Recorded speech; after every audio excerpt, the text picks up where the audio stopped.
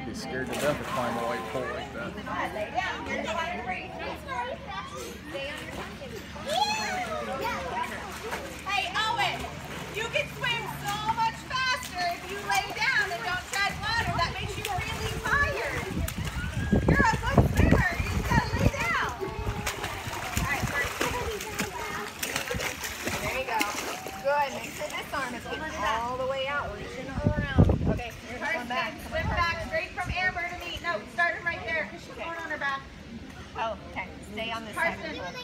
swim straight to me. Again, okay? On this side of the pool. Ready? Go.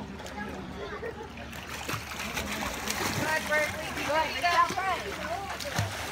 Good, Karsten. Sit where you are. Berkeley, this way. Head back. Good, Karsten. Keep going. Keep going. Just move, Berkeley. You guys run into each other. Head all the way. Well. Good, Berkeley. Use your arms. Good job, Karsten.